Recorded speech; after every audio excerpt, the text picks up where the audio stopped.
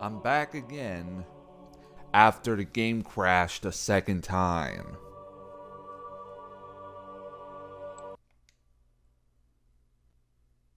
Okay, for some reason.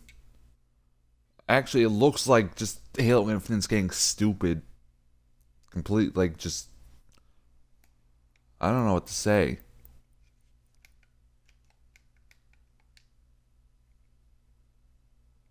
Is the game itself actually crashing?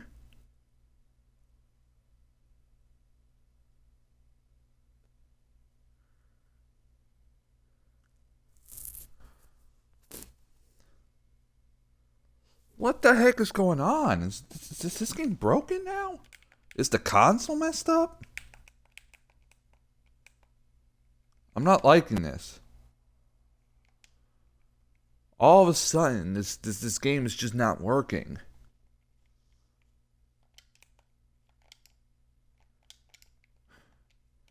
Wouldn't be surprised if I had to uninstall it and then reinstall. Seriously. Wouldn't be surprised if that's the case. This is, this is getting ridiculous.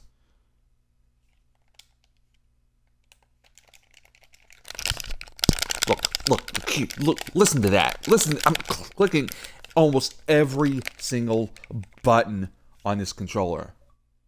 I just saved a screenshot.